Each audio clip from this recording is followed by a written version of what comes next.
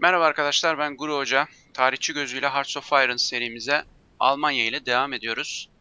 Almanya en çok e, oynanan e, ülke arkadaşlar bu oyunda biliyorsunuz. Çünkü atak bir ülke ve e, hem ordu bakımından hem endüstri bakımından e, gerçekten güçlü.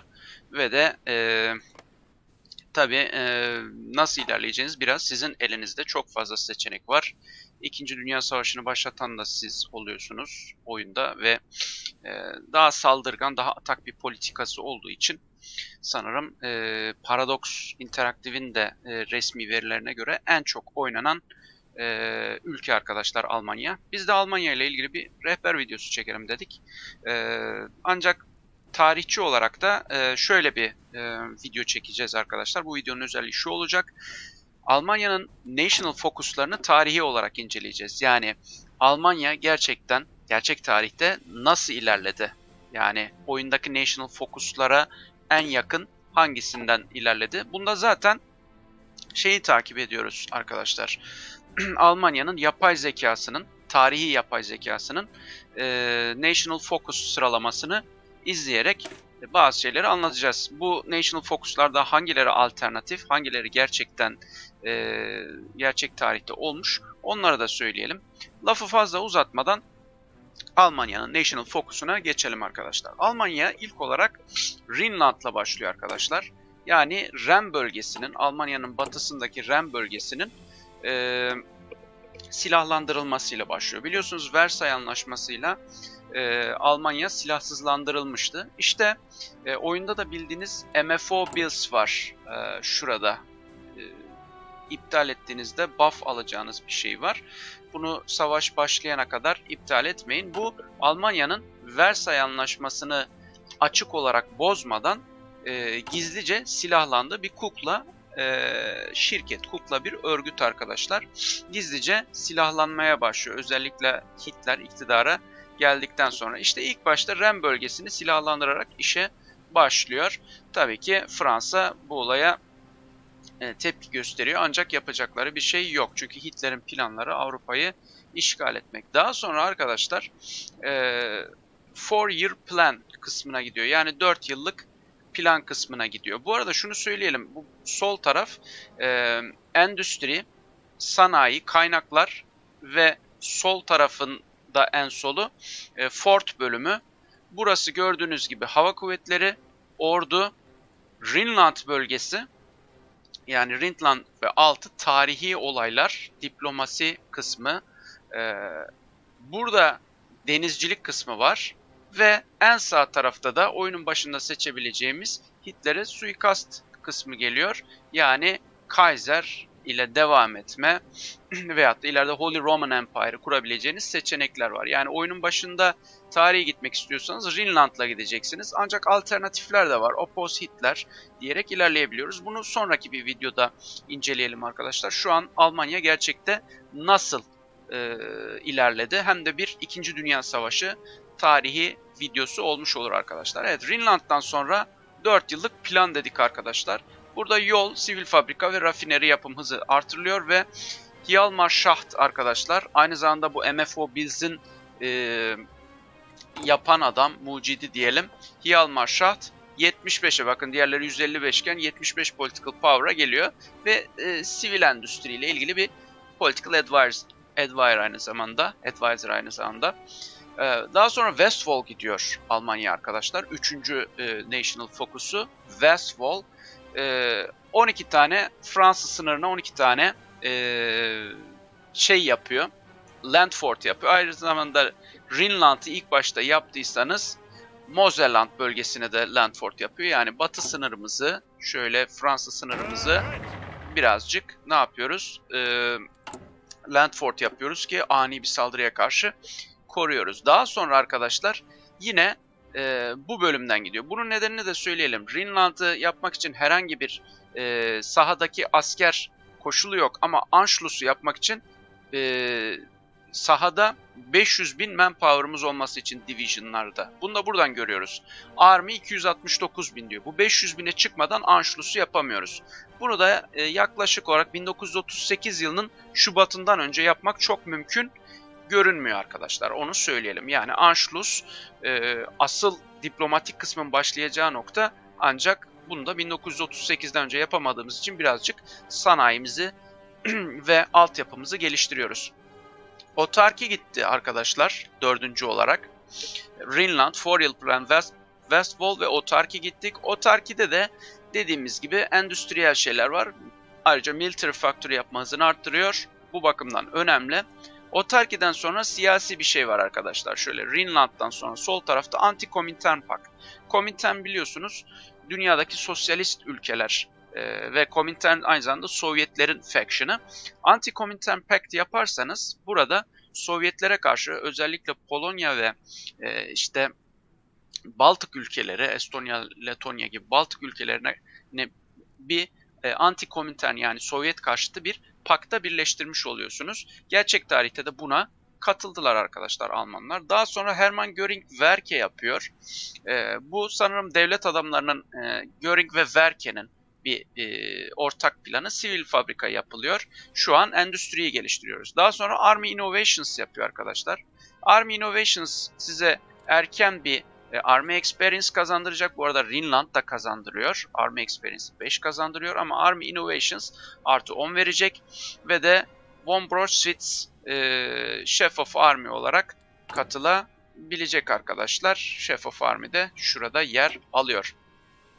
Army Innovations'tan sonra arkadaşlar Almanya Trade with USSR yani Sovyetlerle anlaşma yapıyor. Bu Molotov-Ribbentrop'la karıştırmayın.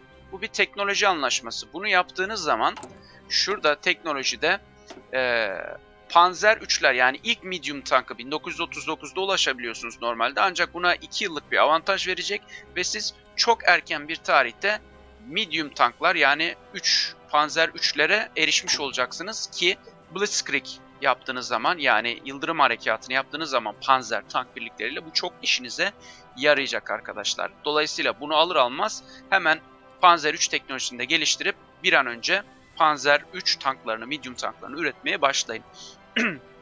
Daha sonra sırada arkadaşlar KDF Wagon var. Sivil fabrika yapmaya devam ediyoruz. Bundan sonra Coal Liquidization işte e, sentetik rafineri verecek arkadaşlar bize.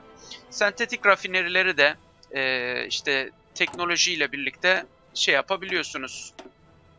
E, şurada sentetik rafinerileriniz bu teknolojileri yaparsanız size lastik verecek ki e, ileride Almanya Almanya İngiltere'ye savaş açtığında buna çok ihtiyacınız olacak. Uçak üretmek için lastik lazım. Onu da e, kendi rafinerilerinizde üretebileceksiniz. Çünkü ticaret yapmak çok olacak. Konvoylarınızı batıracaklar. Veyahut da sizin lastik kaynağınız yok. Mesela British Malaya'da olduğu gibi veyahut da Dutch Indies'de olduğu gibi o topraklar sizde olmadığı için lastik ihtiyacınızı buradan karşılayacaksınız. Eğer hava üstünlüğü istiyorsanız ki bu da şart. Evet, Coal Liquidation'dan sonra muhtemelen tarih 1938'lere gelecek ve Anschluss yapacağız arkadaşlar. Anschluss Avusturya'nın ilhakıdır arkadaşlar ve sahada da 500 bin askeriniz olması gerektiği için bir an önce silahlanıyorsunuz, bir an önce e, asker sayınızı, manpower'ınızı artırıyorsunuz. Yani sürekli piyade asker e, üreterek e, ne yapabilirsiniz? Bunu 1938'e kadar 500 bine çıkaracaksınız arkadaşlar. Buradan piyadeyi üretin özellikle veyahut da neye önem veriyorsanız. Ancak 1938'den sonra 500 bin olması gerekiyor ki Anschluss'u yapabilirsiniz. Anschluss'la birlikte Avusturya size ilhak olmuş oluyor. Yani Avusturya'ya katıyorsunuz. Ordunuzu da kendinize katıyorsunuz. Bu arada dünya tansiyonu da tabii ki birazcık artacak bu olaylarla birlikte. Anschluss'tan sonra yine bir süre ortalıkta görünmemeye çalışıyor. Ortalığı kızdırmamaya çalışıyor. Ee, şeyler e, ne onun adı Almanlar ve synthetic rubber yoluna gidiyor. Buradan da arkadaşlar şey alıyoruz. Tabi lastik üretimi için önemli bir şey. Daha sonra Army Innovations 2'ye geliyor ki Land Doctrine ve e, Panzerkampfwagen'ların üretilmesi için research alıyoruz. Army Experience ele geçiriyoruz. Daha sonra tarihi olarak nereden ilerlediğimize bakalım e, Anschluss'u yapmıştık. Dimen Sudetland'dan devam ediyoruz. Yani Sudeland bölgesi arkadaşlar. Bu da Çekoslovakya ile ilgili bir bölüm. Çekoslovakya'nın e, Alman bölgesine katılmasıyla ilgili bir şey. Tarihi olarak buradan gidiyor Alman arkadaşlar. Dimen Sudeland diyor. Daha sonra First Vienna Award diyor. Bununla birazcık da Macaristan'a yaklaşıyor arkadaşlar ve İngiltere'yi ve Sovyetleri kızdırıyor. Dimen Sudeland ve First Vienna Award'dan sonra Re-Eastern Claims diyor. Yani Doğu bölgelerini ele geçirme.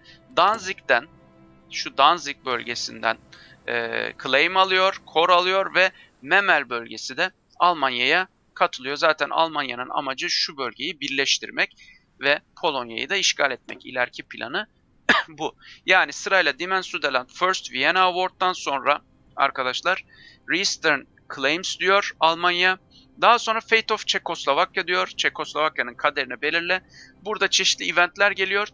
3 ee, seçenek oluyor. O 3 seçenekten genellikle en üsttekini seçerseniz tarihe e, ilerlemeye en uygun olanı seçersiniz. Burada Slovakya'yı puppet yapıyor. Yani Çekoslovakya'nın tamamını almak yerine burada bir e, Slovakya devletini, e, faşist bir Slovakya kukla devleti oluşturuyor gerçek tarihte. Evet Çekoslovakya sorununu çözdükten sonra Almanya ne yapıyor arkadaşlar? Almanya Molotov-Ribbentrop paktı yapıyor. Bütün dünyayı şaşırtan bir şekilde aslında iki düşman ideoloji ve rakip birbiriyle anlaşıyorlar. Yani Sovyetler ve e, Almanya saldırmazlık anlaşması imzalıyor. Tabi bunları seçerken e, özellikle üstüne gelip bakın 850 bin manpower gerekiyor. Dolayısıyla burada 500 bin asker ürettiğinizle birlikte kalmayın. Burada 725 bin istiyor. Burada e, pardon şurada 850 bin istiyor. Danzig orada 950 bin istiyor. Yani siz en az asker sayınızı 950 bine, sağdaki asker sayınızı 950 bine çıkarmanız gerekiyor. Manpower'ınız değil bakın arkadaşlar. Üstüne tuttuğunuzda in the field diyor. Sahada 269.060k diyor Army'nin hemen altında. Onu 950 bine getirmeniz gerekiyor. Bunun için çok hızlı sürekli asker üreteceksiniz. Bunu da e, unutmayın. E, Almanya'yı hiç bilmeyen arkadaşlar için bunu söylüyorum. E, bu gerekli askeri sahaya sürmezseniz bunu yapamazsınız. Onu baştan söyleyelim. Şimdi Molotov-Ribbentrop paktından sonra Almanya ne yapıyor arkadaşlar? Danzig or War diyor. Ya Danzig'i verirsin ya savaş çıkar diyor Polonya'ya. Bu arada tabi dünya e, tansiyonu çok artmış olduğu için İngiltere ve Fransa da garanti atacaktır. Danzig or e, War pardon şurası diyoruz. Şunu seçmiştik. Buradan buraya gelmiştik. Danzig or War diyoruz. Kabul etmiyor Polonya genellikle ve e, daha sonra e, event çıkıyor. Çıkmazsa şuradan e, pop-up'tan siz seçip ne yapabiliyorsunuz? Savaşı başlatabiliyorsunuz. 1 Eylül 1939 2. Dünya Savaşı'nın başlangıç tarihi. Genellikle de o tarihe denk geliyor. Ee, ben Ağustos'ta falan yetiştiğimi hatırlıyorum buna. Burada artık savaş başlıyor arkadaşlar. Danzigor War'la birlikte biz Polonya'yı ele geçiriyoruz. İngiltere ve Fransa ile savaşa giriyoruz. Daha sonra Almanya ne yapıyor? Around Maginot diyor. Yani Maginot hattını biliyorsunuz Fransızların Alman sınırındaki. Burada çok fazla Landfort var. Buradan sakın kafadan saldırmayın. Onlar da size saldırmayı göze alamayacak. Burada sadece birazcık birlik tutun yeter. Ne yapıyoruz? Fransız-Alman sınırının üzerinden işte e, Hollanda, Belçika'yı alıyoruz, Lüksemburg'u alıyoruz ve Paris'e ilerliyoruz. Yani hiç buradaki Landfort'a takılmıyoruz arkadaşlar. Dolayısıyla Eran Maginot yapıyor gerçek tarihte.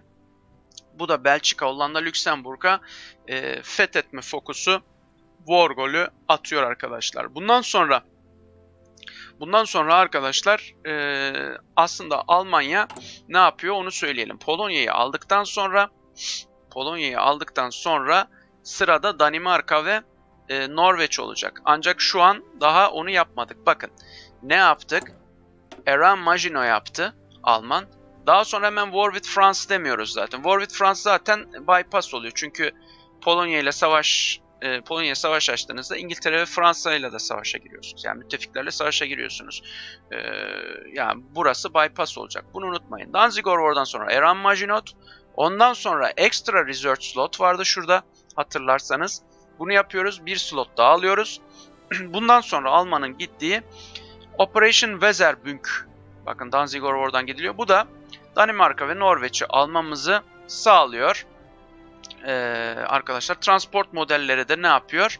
Research bonusu veriyor. Daha sonra Almanya zaten hatırlarsınız Polonya'yı aldıktan sonra İlk iş Danimarka'yı alıyor. Norveç'e transportlarla geçiyorsunuz ve Norveç'i de alıyorsunuz. Böylelikle İngiltere'yi doğu tarafından tehdit etmiş oluyorsunuz. Peki bundan sonra Alman, Danimarka, Norveç'i fethettikten sonra ne yaptı arkadaşlar? Second Vienna Awards'a gitti arkadaşlar. Second Vienna Awards'da şuradan hatırlayacaksınız. Dimen Sudeland, Fate of Czechoslovakia gitmiştik. Buradan Second Vienna Award diyoruz. Bundan sonra da seçenekler geliyor. En üsttekini seçiyoruz. Macaristan'a Kuzey Transilvanya'yı veriyoruz. Böylelikle Macaristan'ı da kendi yanımıza çekmiş olduk. Daha sonra Reis, Reich Otoban yani otobanın mucidi Almanlardır otoyolların. Reich Otoban yapıyoruz. Şimdi bakın bazı yerlerden hiç gitmeyeceğiz. Ee, yani gerçek tarihte hiç gidilmemiş. Mesela şu bölge, Dement, Dement Slovenya bölgesi. Buradan gidilmedi. İngiltere'yi almak gerekiyor burada, London ve Paris'i. London hiç almadığı için buradan gidilmiyor. Aynı zamanda gidilmeyen alternatif yer şu iki bölge.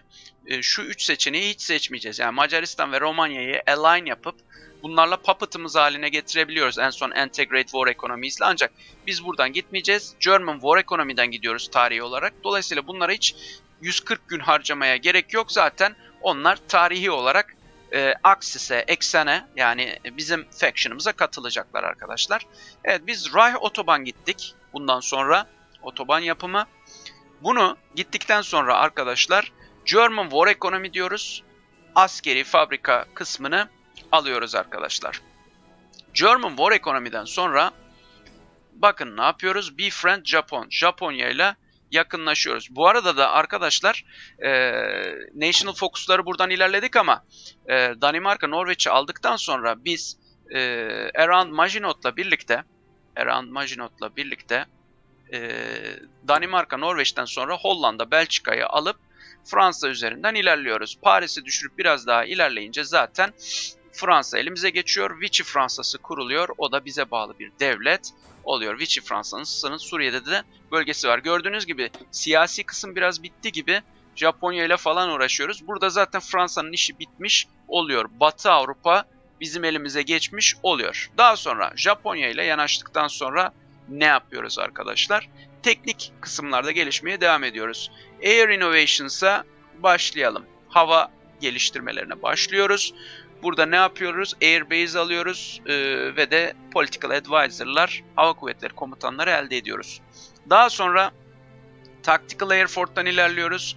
Burası Tactical Bomber ve Support Doktrin'dir. Yani o e, Stuka uçaklarına buff verecek bölge burasıdır. Burası daha ağır hava bombardımanı arkadaşlar. Ancak bunu seçeceğiz. Çünkü ikisinden birini seçmemiz gerektiğinden bunu seçiyoruz tarihi olarak. Daha sonra Naval Air Force, Naval Bomber modelleri yapıyoruz. Bu Almanya'nın tarihi ilerleyiş şekli arkadaşlar. Siz farklı da gidebilirsiniz. İhtiyacınız yoksa buradan gitmek zorunda değilsiniz. Çünkü Naval Air Force'dan sonra arkadaşlar savaş başlayacak. War with USSR seçiyorsunuz. Bununla başlıyor. Çünkü daha önceden anti-Comintern yapmıştınız.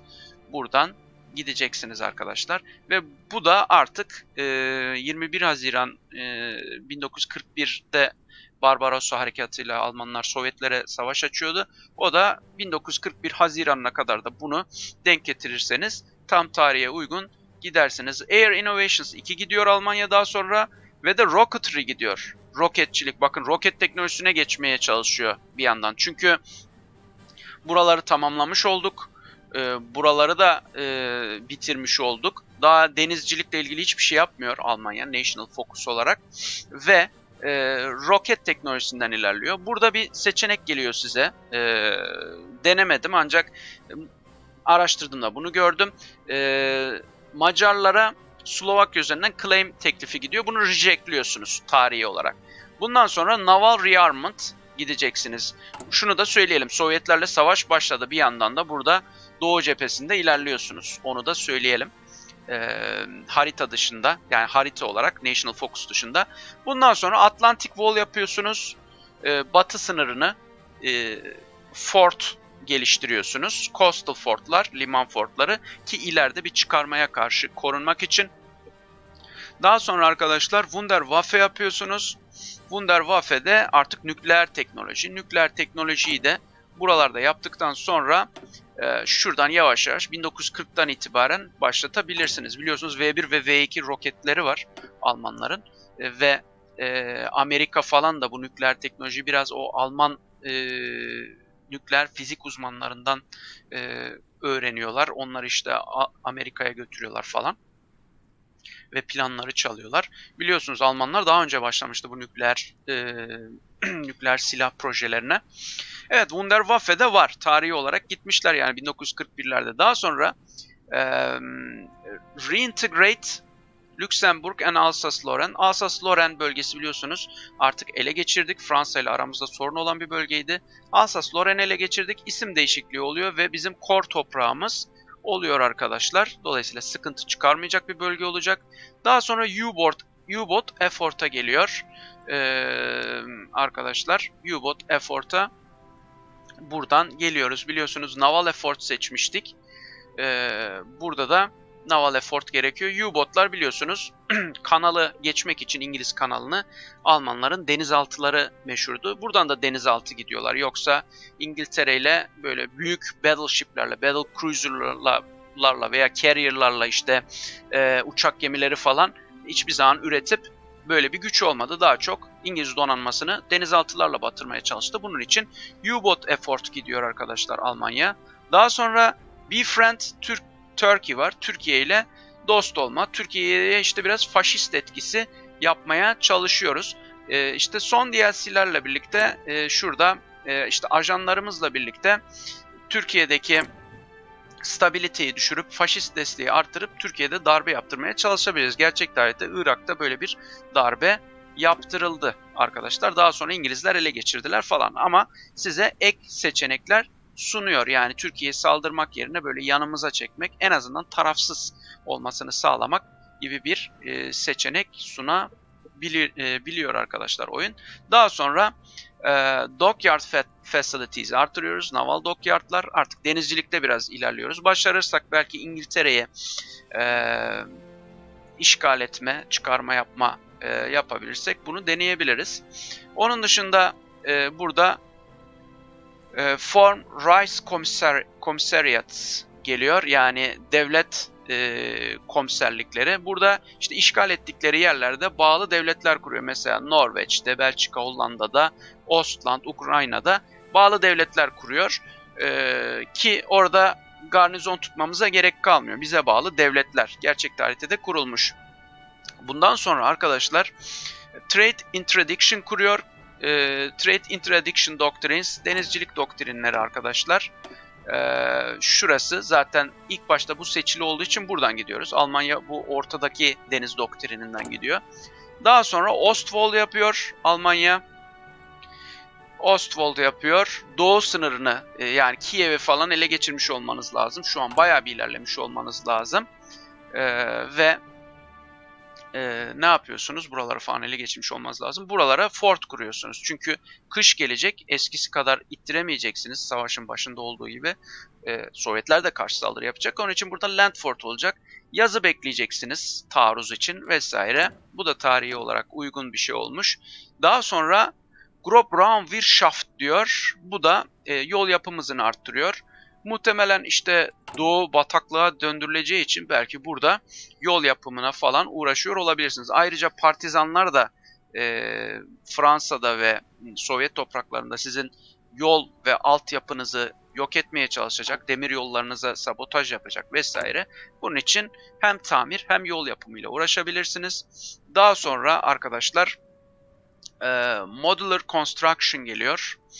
O da e, Modular Construction'da şurada arkadaşlar denizciliğin altında deniz e, submarine denizaltı yapım maliyetini %10 düşürüyor arkadaşlar.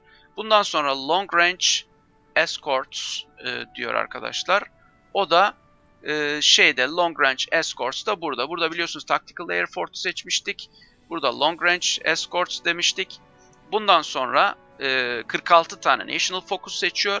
Bundan sonra tarihi olarak Air Production gidiyor ve de sürekli işte uçak e, maliyetini azaltıyor. Bu anlattığımız arkadaşlar Almanya'nın tarihi National Focus'uydu. Bir nevi 2. Dünya Savaşı'nın tarihini anlatmış olduk. Ve oyunda da bu sırayla ilerlerseniz ve doğru şekilde ordularınızı kurup doğru stratejilerle ne yapabilirsiniz? Almanya'nın gerçek tarihinde yaptığı gibi ilerleyebilirsiniz. Ama bir noktadan sonra tabii İngiltere'yi e, istila etmek e, ve Moskova'yı almak için farklı şeylerde gidebilirsiniz. Yani burada küçük oynamalar yapabilirsiniz. Ancak tarihi olarak böyle. E, şimdi gene tekrar edelim. E, mesela Çin'le ortak olabilirsiniz alternatif olarak. Veyahut da şurası Slovenya bölgesi böyle bir seçenek var. Bayağı da fazla seçenek. E, ama burayı niye kullanmıyoruz? Mesela burayı hiç kullanmadık. Ee, ne olduğuna bakalım. Burası Yugoslavya ile ilgili kısım arkadaşlar. Yugoslavya normalde İtalyanlar alıyor. Biz de destek veriyoruz onlara. Ordu gönderiyoruz. Burada Dimen Slovenya'da Yugoslavya ile olan ilişkiler. First Ljubljana, Ljubljana Award. Bu gerçekten olan bir olay değil bu arada. Bunları söyleyelim. Gerçekte olmadığı için böyle.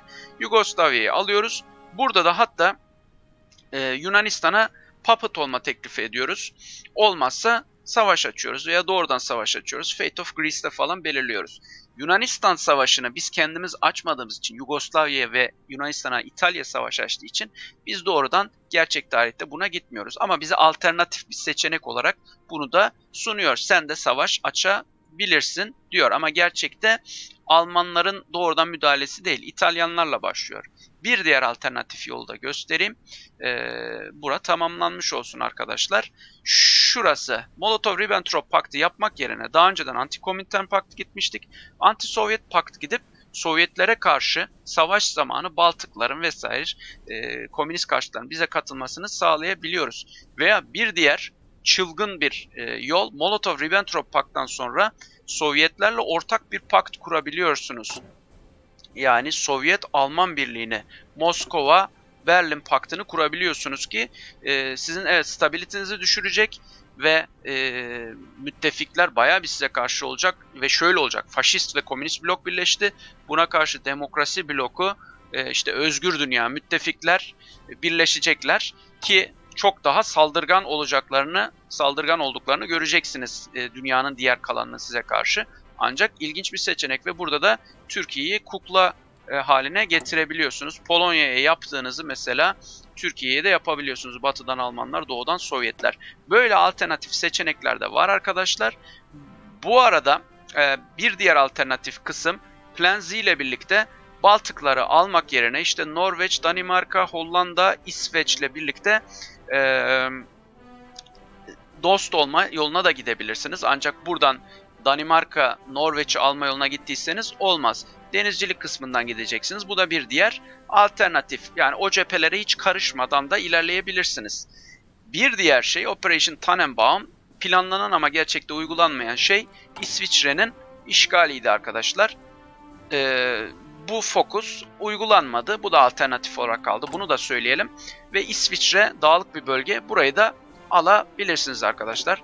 Tam bir tarih dersi gibi oldu e, anlatımımız. Gerçekten Almanya nasıl gitti? E, onun dışında fokusumuzda olup alternatif olan yollara da e, anlattık. Yani nasıl farklı yollardan da gidebilirdi bunu anlattık. Bu Hitler Almanyası ile ilgili bir rehber oldu. Başka bir videoda da o post Hitler yani Hitler'i indirdikten sonra mesela Kaiser'i getirmek, e, eski imparatorluğu kurmak nasıl olur? Bunu da başka bir videoda inceleriz arkadaşlar. Ayrıntılı bir Almanya videosu oldu. Tarihçi gözüyle Almanya'yı inceledik. E, umarım videomu beğenmişsinizdir. Kendinize iyi bakın. Kanala abone olmayı, videoları beğenmeyi ve videolara yorum yapmayı unutmayın. Sonraki videolarda görüşmek üzere arkadaşlar.